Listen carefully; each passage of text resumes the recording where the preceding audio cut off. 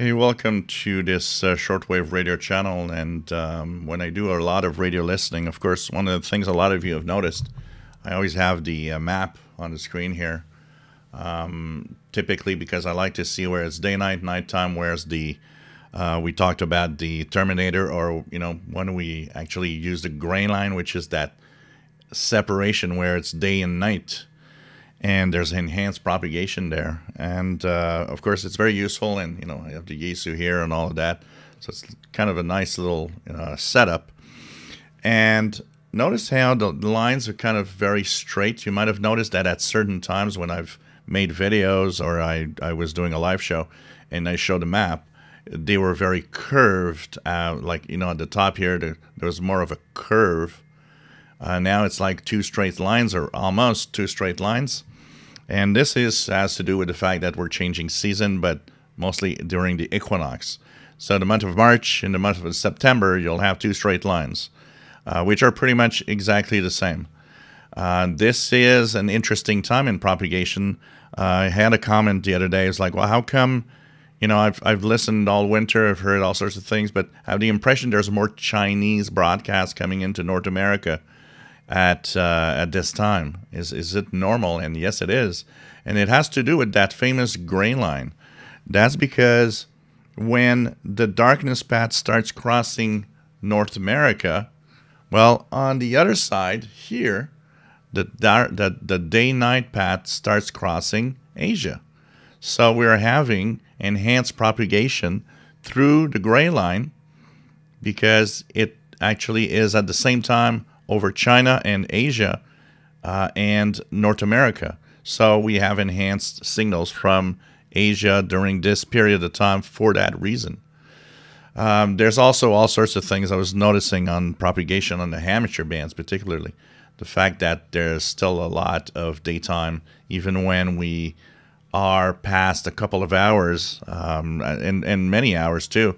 Um, I've noticed that we have a lot of, of contacts possible with with Japan and China and even Australia and New Zealand um, very late at night. And, you know, it shows with Radio New Zealand 17675, which is uh, coming in stronger and stronger every night. But having an indication like that, um, you know, this once again is called Simon's World Map. It's a software for Windows.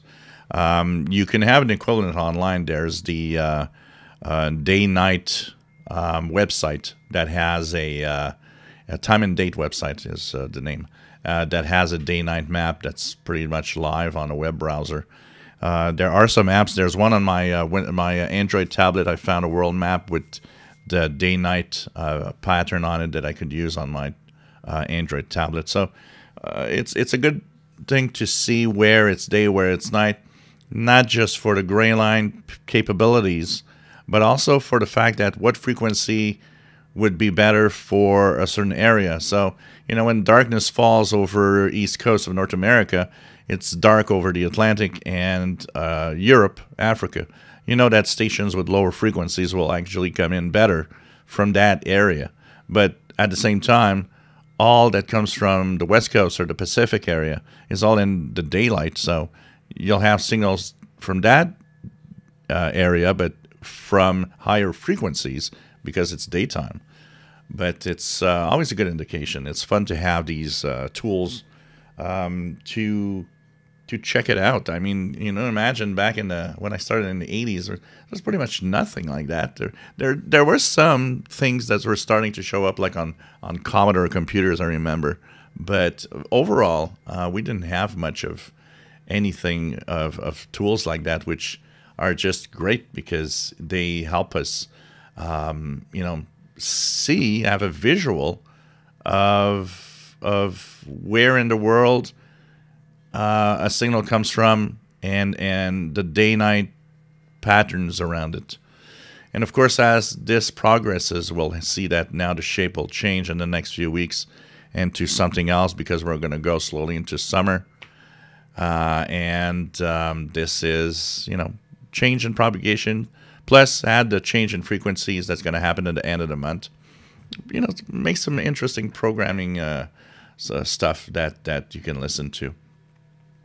So uh, lots of interesting signals if you not only you know now know where and when to chase them, but also um, with the day-night patterns that you can follow.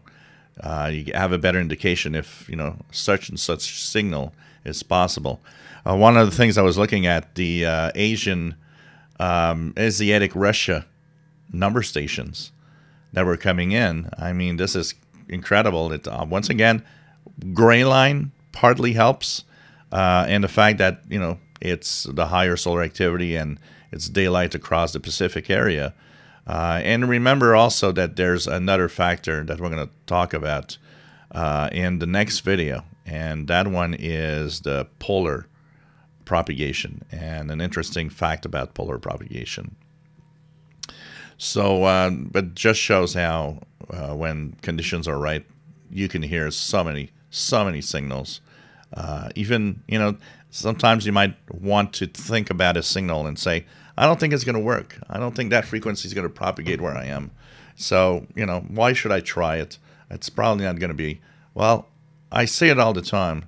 Even in the impossible task of, nah, it's not going to work, try it. Um, even I, as a 40 plus year listener with a lot of knowledge, a lot of info about propagation and, and knowing when and how to listen to things, I get surprised regularly at, wow, I never thought I'd hear this. So that's why I always say, look, even if it sounds crazy, even if it sounds impossible, you know what? Punch in that frequency and go check it out.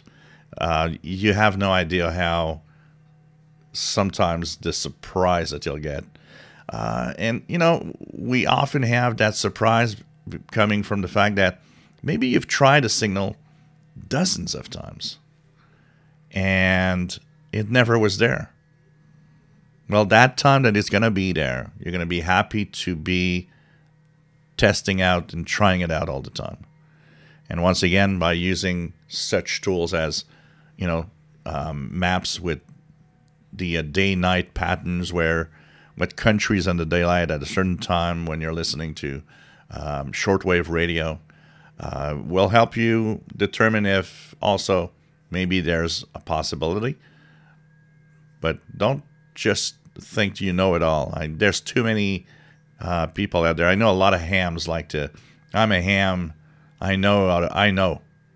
No, it doesn't work like that. And actually, so many hams are totally wrong, and so many things that they think are are right that you have to you have to get that out of your head and out of the barriers that maybe you've set yourself into.